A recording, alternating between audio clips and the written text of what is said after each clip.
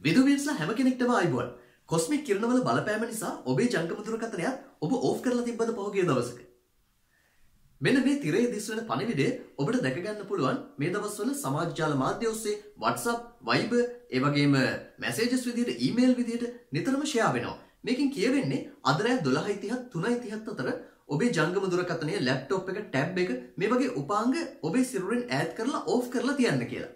මේකට හේතුව විදිහට ඔවුන් සඳහන් කරලා තියෙන්නේ අන්තරීක්ෂ කිරණ මට්ටම පෘථිවියේ අන්තරීක්ෂ කිරණ මට්ටම වැඩිවීම නිසා මේ උපාංග වලින් ඔබේ සිරුරට යම්කිසි දරුණු බලපෑමක් වෙන්න පුළුවන්. උදාහරණයක් විදිහට පුපුරා යනවා වගේ බලපෑමක් වෙන්න පුළුවන් කියලා තමයි සඳහන් කරන්නේ. ඉතින් මේ කතාව ඇත්තක්ද? ඉස්සෙල්ලම අපි බලමු කොස්මික් කිරණ කියන්නේ මොනවද කියලා. කොස්මික් කිරණ කියලා කියන්නේ අධිශක්ති විකිරණ විශේෂයක්. පෘථිවියට ඇතුල් වන කොස්මික් කිරණ දෙවර්ගයක් තියෙනවා. එකක් තමයි සූර්යයාගේ සූර්ය ගිනිදැල් වලින් ඇතිවන කොස්මික් කිරණ. මේ කොස්මික් කිරණ ප්‍රබලතාවෙන් අඩු නිසා පෘථිවි වායුගෝලයට ඇතුල් වෙන්නේ ඉතාමත්ම සුළු වශයෙන්. අනිත් කිරණ විශේෂය තමයි සුපර්නෝවා පිපිරුම් නිසා ඇතිවන කොස්මික් කිරණ. මේ සුපර්නෝවා පිපිරුම් නිසා ඇතිවන කොස්මික් කිරණ තමයි පෘථිවිය වැඩි වශයෙන් දකින්න ලැබෙන්නේ. පෘථිවියේ චුම්බක ක්ෂේත්‍රයේ තියෙන බලපෑම නිසා මේ කොස්මික් කිරණ වැඩි වශයෙන් සාන්ද්‍රගත වෙලා තියෙන්නේ ද්‍රව ප්‍රදේශවලට.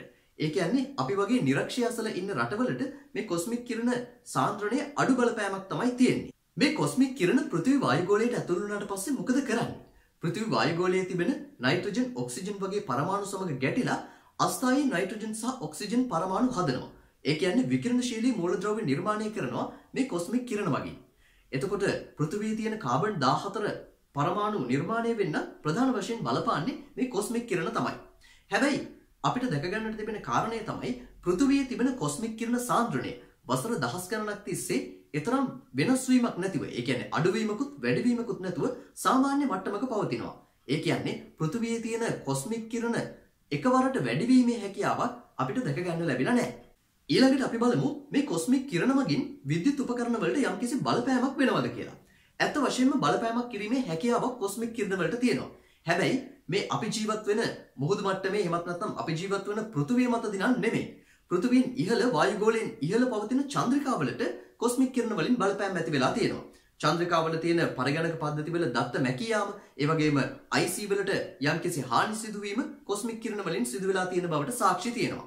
ඇතම් වෙලාවට ඉහළ අහසේ ගමන් කරන ගුවන් යානාවලටත් කොස්මික් කිරණ වලින් කිසියම් වූ බලපෑමක් තියෙන්නට පුළුවන් කියලා සැකයක් තියෙනවා. නමුත් ඒ පිළිබඳව තවමත් හරියාකාරයෙන් සනාථ කිරීමක් සිදු කරලා නැහැ.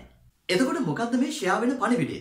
මේ පණිවිඩය 2012 අප්‍රේල් මාසේ පළවෙනිදා තමයි මුලින්ම ෂෙයා වෙන්න පටන් ගත්තේ. ඒ කියන්නේ මෝඩයාගේ දවසේ.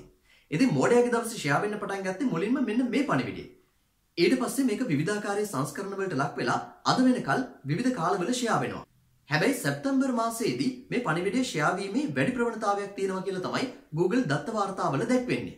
මේ පණිවිඩයේ විශ්වසනීය බව වැඩි කරන්න මේ පණිවිඩය නිර්මාණය කරන අය සඳහන් කරලා තියෙනවා BBC වල NASA දත්ත වාර්තාවල මේක සඳහන් වෙනවා අවශ්‍ය නම් ගිහිල්ලා බලන්න කියලා. හැබැයි ඉතින් මෙහෙම ගිහිල්ලා බලන පිරිස ඉන්නේ ඊටාත්ම අඩු වශයෙන්. අපි පුරුදු වෙලා ඉන්නේ මොකක් හරි දැක්ක ගමන් මේක සමාජයට වැදගත් කියලා හිතලා ෂෙයා කරන්න. හැබැයි මේක ඇත්තක්ද බොරුවක්ද කියලා අපි කල්පනා කරන්නේ නැහැ. සමාජ ජාල මාධ්‍යවල account එකක් හදාගෙන ඉන්න අපි හැමෝම එක්තරා විදියක මාධ්‍යකරු. ඉතින් ඒ නිසා අපිට වගකීමක් තියෙනවා අපි සමාජයේ අනික් අයට දෙන පණිවිඩය ඇත්තද බොරුවක්ද කියලා හරියාකාරයෙන් දැනගන්න. ඉතින් මේකත් කල්පනාවට අරගෙන ඔබ ෂෙයා කරන පණිවිඩ ෂෙයා කළොත් තමයි වඩාත් හොඳ වෙන්නේ. හැබැයි මෙන්න මෙහෙම දෙයක්ත් තියෙනවා.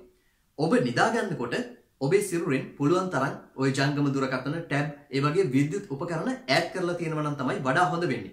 ඒකට හේතුව මේ කොස්මික් කිරණ වල බලපෑම නිසා නෙවෙයි. ඒ මගින් නිකුත් වන සංඥා මගින් අපේ මොලේ තියෙන ජීව ඔරලෝසුවට බාධා ඇති කරනවා. ඉතින් අපේ මේ ජීව ඔරලෝසුවට හානි සිදු වුණාම අපේ එදිනෙදා වැඩ කටයුතු නිසියාකාරයෙන් කරගෙන යාමේ හැකියාව අපිට නැති වෙනවා. ඒ වගේම මේ විද්‍යුත් සංඥා වලින් මොලේට යම්කිසි හානිකර බලපෑම් සිදු වෙනවා කියලා විද්‍යාඥයෝ සඳහන් කරනවා. ඉතින් අන්න ඒ කාරණයත් ඔබේ හිතට ගන්න.